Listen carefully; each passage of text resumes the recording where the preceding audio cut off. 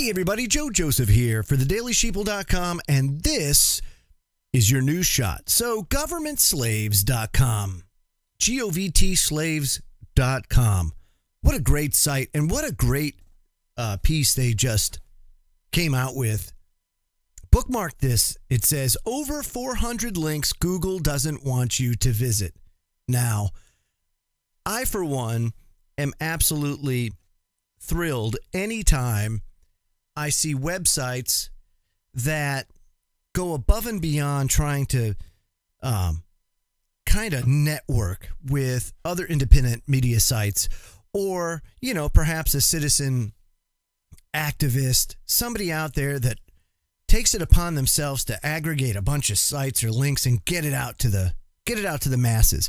Oftentimes it's nice to have that one uh, bookmark that you can go to and boom, you've got just, you know, a ton of different links to go to to reference, maybe to get your news or information. Well, uh, Government Slaves did a great job of aggregating some of this, and they, they wrote a pretty good piece to boot. It says the war on truth has reached a fever pitch as Google has made it their mission to annihilate the independent media.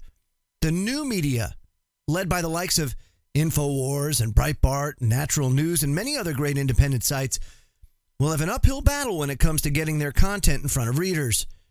Google has announced that they will be doubling down their Orwellian practice of making stories disappear from their monopolistic search engine. Outlined in their Gestapo like 160 page handbook, Google describes exactly how they plan to suppress any information deemed unfit for readers. Highlighted at the bottom of page 108, Google states, quote, Pages that directly contradict well established scientific or medical consensus for queries seeking scientific or medical information unless the query indicates the user is seeking an alternative viewpoint.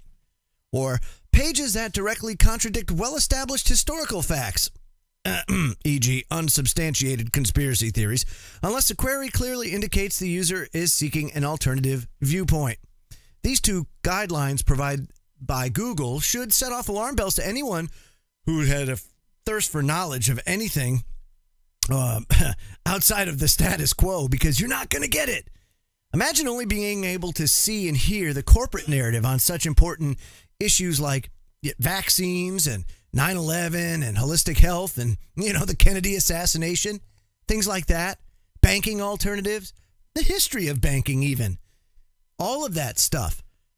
You're not going to get the truth. You're not going to get alternative viewpoints to the status quo unless you use alternative modes of searching because Google will not allow it. This information is also put out over at Truthstream Media. If you go to their YouTube channel, uh, they did a, a, video a while back, Aaron and Melissa Dykes. It's official. This is straight out of Orwell's 1984.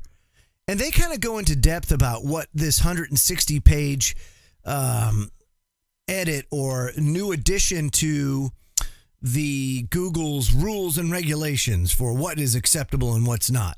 You know, their Newspeak um, book, if you will.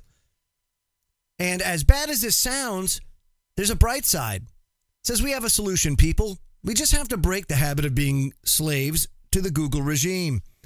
And uh, first, we stop using Google altogether and start using some great alternatives out there like Good Gopher and DuckDuckGo and Yandex and SearchX.me and Qwant. The second and most important thing we do is go old school and start bookmarking sites again.